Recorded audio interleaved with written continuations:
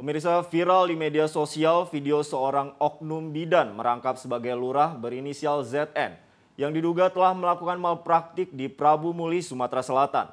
Akibat perbuatan dugaan malpraktik itu, pasien dari ZN diduga menderita pembengkakan ginjal hingga akhirnya meninggal dunia.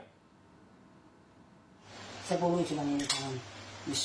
Ini muntah ini banyak banyak banyak obatnya enggak lama nanti. Dari video yang beredar luas di media sosial ini terlihat diduga bidan berinisial ZN mengenakan baju blazer putih memberikan suntikan kepada korban inisial R 59 tahun sebagai warga Jalan Lingkar Timur Kelurahan Tanjung Raman Kota Prabu Mulih diduga karena sakit.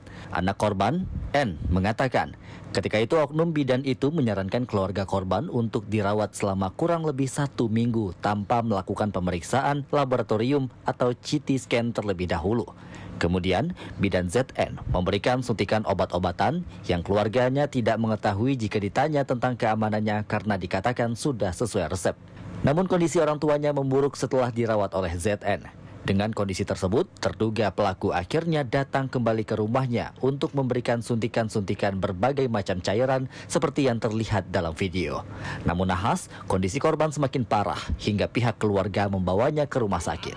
Setelah dibawa ke rumah sakit, N menyebut kondisi ginjal ibunya mengalami pembengkakan dan harus menjalani cuci darah.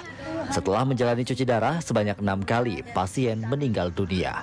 Menanggapi hal ini, pejabat wali kota Prabu Mulih, Elman mengatakan pihaknya bersama Polres Prabu Mulih telah membentuk tim untuk menginvestigasi kasus tersebut dan akan menyelidiki status praktek terduga pelaku ZN yang juga merangkap lurah di Kecamatan Cambai. Sepit yang gak besar, jadi dia cair, jadi sehingga mendorong obatnya lebih cepat masuk. Apa kita sering melakukan itu ke pasien? Tergantung, tidak sama sekali biasanya. Ya. Tapi ada terkait malpraktek itu bu? Ya gimana bu? Gimana Bu?